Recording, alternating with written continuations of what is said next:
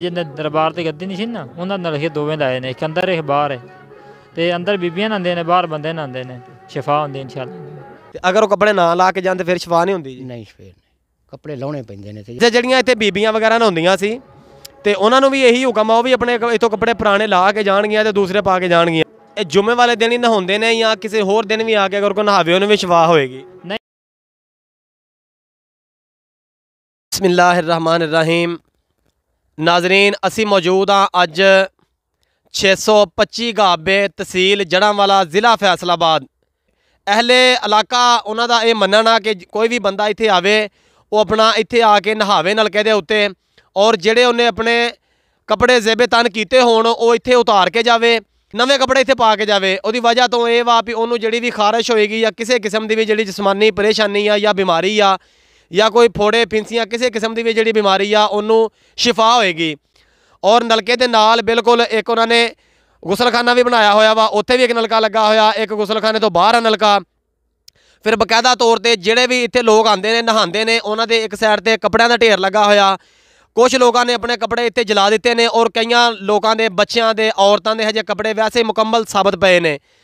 ਇਹਦੇ ਮੁਤਲਕ ਇਸ ਨਲਕੇ ਦੀ ਹਕੀਕਤ ਦੇ ਮੁਤਲਕ ਔਰ ਇਸ ਦਰਬਾਰ ਸ਼ਰੀਫ ਦੀ ਹਕੀਕਤ ਦੇ ਮੁਤਲਕ ਅਸੀਂ ਅਹਲੇ ਇਲਾਕਾ ਸਾਡੇ ਨਾਲ ਮੌਜੂਦ ਨੇ।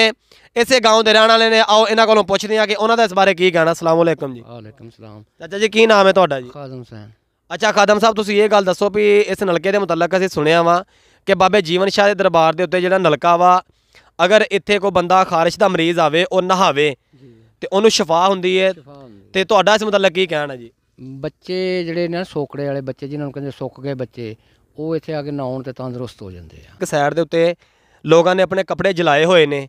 ਕੁਝ ਛੋਟੇ ਛੋਟੇ ਬੱਚਿਆਂ ਦੇ ਕੱਪੜੇ ਇੱਥੇ ਵੈਸੇ ਮੁਕੰਮਲ ਬਿਲਕੁਲ ਸਹੀ ਸਾਫ਼ ਸੁਥਰੇ ਨਵੇਂ ਕੱਪੜੇ ਨੇ। ਉਹ ਮੁਕੰਮਲ ਤੌਰ ਤੇ ਉਸ ਤਰ੍ਹਾਂ ਹੀ ਪਏ ਨੇ ਔਰਤਾਂ ਦੇ ਕੱਪੜੇ ਨੇ।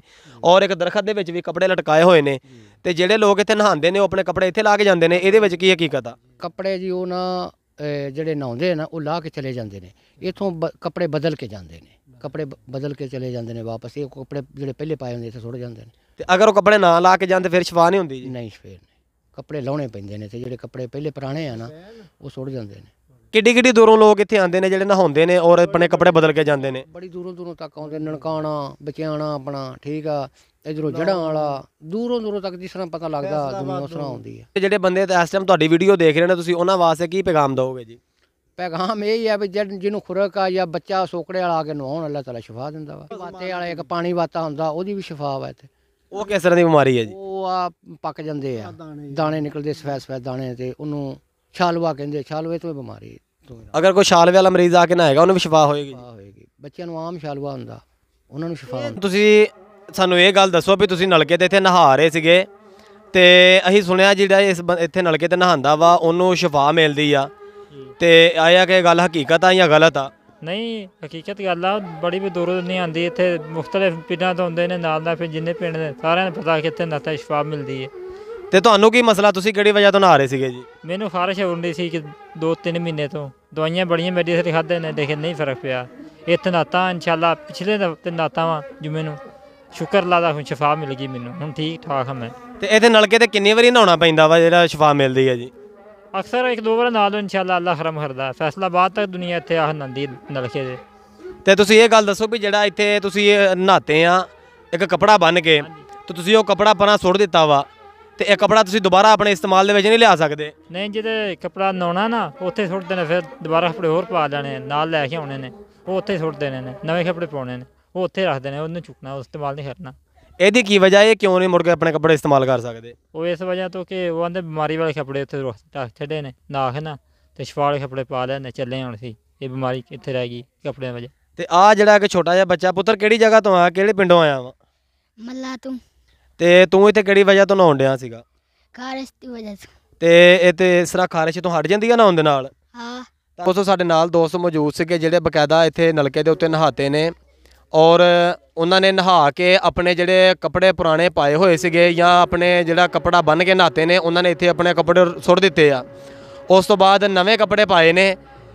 ਇਹਨਾਂ ਦਾ ਇਹ ਮੰਨਣਾ ਇਹਨਾਂ ਲੋਕਾਂ ਦਾ ਵੀ ਜਿਹੜੇ ਕੱਪੜੇ ਪਾ ਕੇ ਤੁਸੀਂ ਨਹਾਉਣਾ ਵਾ, ਉਹ ਕੱਪੜੇ ਤੁਸੀਂ ਇੱਥੇ ਸੁੱਟ ਕੇ ਜਾਣੇ ਆ। ਮੁੜ ਕੇ ਬੇਸ਼ੱਕ ਉਹਨਾਂ ਕੱਪੜਿਆਂ ਨੂੰ ਇੱਥੇ ਲੋਕ ਜਲਾ ਦੇਣ ਜਾਂ ਚੁੱਕ ਕੇ ਲੈ ਜਾਣ, ਉਹ ਇਹ ਲੋਕ ਇਸ ਗੱਲ ਨੂੰ ਬਖੂਬੀ ਜਾਣਦੇ ਹੋਣਗੇ ਮੁੜ ਕੇ ਉਹਨਾਂ ਕੱਪੜਿਆਂ ਦਾ ਕੀ ਕੀਤਾ ਜਾਂਦਾ। ਲੇਕਿਨ ਨਹਾਉਣ ਵਾਲੇ ਵਾਸਤੇ ਇਹ ਸ਼ਰਤ ਆ ਕਿ ਉਹਨੇ ਜਿਹੜਾ ਕੱਪੜਾ ਬੰਨ ਕੇ ਇੱਥੇ ਨਹਾਉਣਾ ਵਾ ਜਾਂ ਜਿਹੜੇ ਕੱਪੜੇ ਪਾ ਕੇ ਆਉਣਾ ਵਾ ਇੱਥੇ, ਇੱਥੋਂ ਉਹ ਕੱਪੜੇ ਲਾ ਕੇ ਤੇ ਫਿਰ ਨਵੇਂ ਕੱਪੜੇ ਪਾ ਕੇ ਜਾਣਾ ਵਾ। ਅੱਛਾ, ਜਿਹੜੀਆਂ ਇੱਥੇ ਬੀਬੀਆਂ ਵਗੈਰਾ ਨਹਾਉਂਦੀਆਂ ਸੀ, ਤੇ ਉਹਨਾਂ ਨੂੰ ਵੀ ਇਹੀ ਹੁਕਮ ਆ, ਉਹ ਵੀ ਆਪਣੇ ਕ- ਇੱਥੋਂ ਕੱਪੜੇ ਪੁਰਾਣੇ ਲਾ ਕੇ ਜਾਣਗੀਆਂ ਤੇ ਦੂਸਰੇ ਪਾ ਕੇ ਜਾਣਗੀਆਂ। ਆ ਲਓ ਇੱਧਰ ਦੱਸੋ।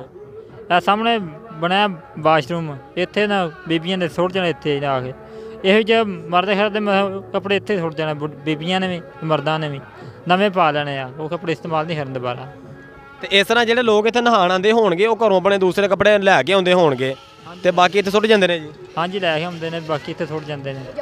ਹੋਰ ਲੈ ਕੇ ਆਇਆ ਪਾ ਲੈ ਮਾਰੀ ਇੱਥੇ ਸੁੱਟ ਕੇ ਪਾ ਕੇ ਚਲਾ ਖਾਰਨਾ ਤੇ ਇਹ ਨਲਕਿਆਂ ਦੇ ਉੱਤੇ ਨਹਾਉਣ ਦਾ ਤੁਹਾਨੂੰ ਕੋਈ ਇੱਥੇ ਕੋਈ ਚੰਦਾ ਵਗੈਰਾ ਦਿੰਦੇ ਜੇ ਦਰਬਾਰ ਦੇ ਉੱਤੇ ਜਾਂ ਤੁਹਾਡੇ ਕੋਲ ਕੋਈ ਸ਼ੈ ਨਹੀਂ ਲੈਂਦੇ ਜੀ? ਨਹੀਂ ਕੋਈ ਸ਼ੈ ਨਹੀਂ ਚੰਦਾ ਚੁੰਦਾ ਕੋਈ ਨਹੀਂ। ਤੇ ਇਹ ਤੁਸੀਂ ਮੈਨੂੰ ਇਹ ਗੱਲ ਦੱਸੋ ਇਸ ਟਾਈਮ ਵੀ ਸਾਡੇ ਆਸੇ-ਪਾਸੇ ਕਾਫੀ ਹਜੂਮ ਆ ਔਰ ਦਰਬਾਰ ਤੇ ਵੀ ਕਾਫੀ ਰਸ਼ ਆ। ਤੇ ਅੱਗੇ ਅਸੀਂ ਦੇਖਿਆ ਵਾ ਲੋਕ ਵੀ ਦੱਸ ਰਹੇ ਸੀਗੇ ਵੀ ਕਾਫੀ ਜ਼ਿਆਦਾ ਲੋਕ ਇੱਥੇ ਨਹਾਉਣ ਆਉਂਦੇ ਆ। ਤੇ ਕਿਹੜੀ ਕਿਹੜੀ ਜਗ੍ਹਾ ਤੋਂ ਇੱਥੋਂ ਕਿਹੜੀ ਕਿਹੜੀ ਦੂਰੋਂ ਲੋਕ ਨਹਾਉਣ ਆਉਂਦੇ ਨੇ? ਲੋਕ ਫੈਸਲਾਬਾਦ ਤੋਂ ਵੀ ਆਉਂਦੇ ਨੇ ਜਾਂ ਲਾਗੇ ਤੱਕ ਜਿੰਨੇ ਪਿੰਡ ਨੇ ਸਾਰੇ ਇੱਥੇ ਨਹਾਉਣ ਆਉਂਦੇ ਨੇ। ਜਿਹਨੂੰ ਕੋਈ ਬਿਮਾਰੀ ਹੋਵੇ ਬੁਖਾਰ ਹੋਵੇ ਖਾਰਸ਼ ਹੋਵੇ ਕੋਈ ਬਿਮਾਰੀ ਹੋਵੇ ਇੱਥੇ ਆਉਂਦੇ ਨੇ ਸ਼ਿਫਾ ਹੋ ਜਾਂਦੀ ਅੱਲਾਹ ਸ਼ਿਫਾ ਦੇ ਦਿੰਦਾ। ਅੱਛਾ ਇਹ ਜਿਹੜਾ ਨਲਕਾ ਵਾ ਇਹ ਕਿਸੇ ਪੀਰ ਨੇ ਲਾਇਆ ਸੀ ਜਾਂ ਕਿਸੇ ਪੀਰ ਦੇ ਹੱਥੀਂ ਲੱਗਿਆ ਵਾ ਜਾਂ ਕਿਸੇ ਪੀਰ ਦਾ ਕਹਿਣ ਆ ਵੀ ਇਸ ਨਲਕੇ ਦੇ ਉੱਤੇ ਤੁਸੀਂ ਨਹਾਓ ਤੁਹਾਨੂੰ ਸ਼ਿਫਾ ਮਿਲੇਗੀ? ਨਹੀਂ ਨਹੀਂ ਇਹਨਾਂ ਨਲਖਾ ਬਾਬਿਆਂ ਨੇ ਲਾਇਆ ਜਿਹਨੇ ਦਰਬਾਰ ਤੇ ਗੱਦੀ ਨਹੀਂ ਸੀ ਨਾ ਉਹਨਾਂ ਨਲਖੇ ਦੋਵੇਂ ਲਾਏ ਨੇ ਇੱਕ ਅੰਦਰ ਇੱਕ ਬਾਹਰ ਹੈ ਤੇ ਅੰਦਰ ਬੀਬੀਆਂ ਨਹਾਉਂਦੇ ਨੇ ਬਾਹਰ ਬੰਦੇ ਨਹਾਉਂਦੇ ਨੇ ਸ਼ਿਫਾ ਹੁੰਦੀ ਇਨਸ਼ਾਅੱਲਾ ਤੇ ਇਹ ਕਿੰਨੀ ਕੁ ਚਿਰ ਹੋ ਗਈ ਇੱਥੇ ਨਲਕੇ ਲੱਗਿਆ ਹੋਇਆਂ ਨੂੰ ਜਿਹੜੇ ਜਿਨ੍ਹਾਂ ਤੇ ਲੋਕ ਨਹਾਉਂਦੇ ਨੇ ਔਰ ਸ਼ਿਫਾ ਮਿਲਦੀ ਆ? 17 18 ਸਾਲ ਹੋ ਗਏ ਨੇ। 17 18 ਸਾਲ ਹੋ ਗਏ ਨੇ ਇੱਥੇ ਲੱਗਿਆ ਨੂੰ। ਤੇ ਕਾਫੀ ਦੂਰੋਂ ਦੂਰੋਂ ਲੋਕ ਆਉਂਦੇ ਨੇ ਹੋਰ ਵੀ? ਹਾਂਜੀ ਲਾਹੌਰ ਲਾਹੌਰ ਤੱਕ ਦੁਨੀਆ ਆਈ ਲਾਹੌਰ ਲਾਹੌਰੋਂ ਵੀ ਆਏ ਸੀ ਪਿਛਲੇ ਦਿਨ ਮਹਿਮਾਨ ਉਹ ਨਾਤੇ ਨੇ ਤੇ ਸਾਨੂੰ ਖਾਰਸ਼ ਨਹੀਂ ਜਾਨ ਛੱਡਣ ਡਈ ਇਹ ਸਪੈਸ਼ਲ ਇਹ ਜੁਮੇ ਵਾਲੇ ਦਿਨ ਹੀ ਨਹਾਉਂਦੇ ਨੇ ਜਾਂ ਕਿਸੇ ਹੋਰ ਦਿਨ ਵੀ ਆ ਕੇ ਅਗਰ ਕੋਈ ਨਹਾਵੇ ਉਹਨੂੰ ਵੀ ਸ਼ਵਾ ਹੋਏਗੀ। ਨਹੀਂ ਜਦੋਂ ਮਰਜ਼ੀ ਨਾਲ ਲਓ ਲੇਕਿਨ ਜ਼ਿਆਦਾ ਰਸ਼ ਜੁਮੇ ਦਾ ਦਿਨ ਹੁੰਦਾ ਜੁਮੇ ਦਾ ਦਿਨ ਦੁਨੀਆ ਜ਼ਿਆਦਾ ਆਂਦੀ ਉਹਦੀ ਕੀ ਵਜ੍ਹਾ ਜੁਮੇ ਵਾਲੇ ਦਿਨ ਜ਼ਿਆਦਾ ਰਸ਼ ਕਿਉਂ ਹੁੰਦਾ? ਆਪਣੇ ਪਿੰਡਾਂ ਦਾ ਮਾਹੌਲ ਨੇ ਲਾਹੌਰ ਜਾ ਉਹਨਾਂ ਦੇ ਦਰਬਾਰਾਂ ਤੇ ਜੁਮੇ ਰਾਤ ਜਾਂਦੇ ਆ। ਤੇ ਇਸ ਪਿੰਡਾਂ ਥਾਵਾਂ ਦੇ ਵਿੱਚ ਨਾ ਜੁਮੇ ਜਾਂਦੇ ਨੇ ਦਰਬਾਰਾਂ ਤੇ ਇਸ ਵਜ੍ਹਾ ਤੋਂ।